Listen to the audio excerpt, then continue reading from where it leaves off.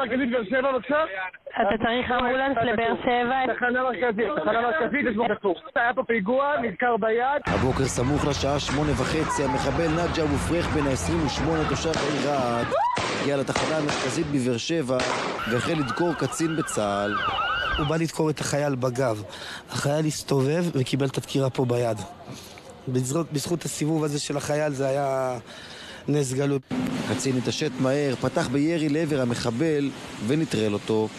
המחבל מגיע באוטובוס, יורד בתחנה המרכזית שם, עושה את דרכו לכאן, לתחנה הזו, יושב כאן כמה דקות כשהוא קולט את קצין צה"ל, אה, יושב כאן בסמוך אליו, הוא מתנפל עליו, דוקר אותו ומנסה בעצם לפגוע בו. הקצין מתעשת במהירות, מבצע ירי לעברו ומנטרל אותו ממש כאן. בנקודה הזו, אזרח נוסף שהיה כאן נפצע באורח קל כתוצאה מהרסיסים.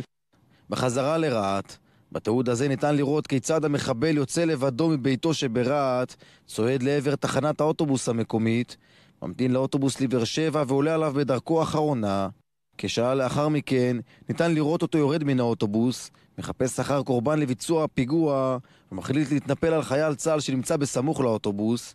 החייל מתעשת ומנטרל אותו במקום. המחבל מוכר היטב למשטרה ונחשב לעבריין פלילי בעל עבר עשיר בעבירות אמל"ח וסמים ועמד לפני תחילת עבודות שירות בגין מעשיו. אנחנו נמצאים בתקופה מאוד מאוד מאתגרת. לא היה לנו אה, מידע מודיעיני רלוונטי ספציפי אה, למחבל הזה. אנחנו מכירים את הזהות שלו. כרגע אנחנו עושים פעולות אה, משמעותיות כדי להבין גם את המניעים שלו וגם האם היה לו סיוע נוסף מאנשים נוספים.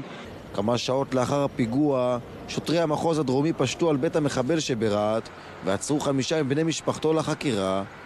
אנחנו חיים פה בדו-קיום ובצורה מעורבת מאוד והם עובדים איתנו ואנחנו עובדים איתם והכל טוב יפה ואתה לא יכול לדעת פתאום מי יתהפך עליך פה.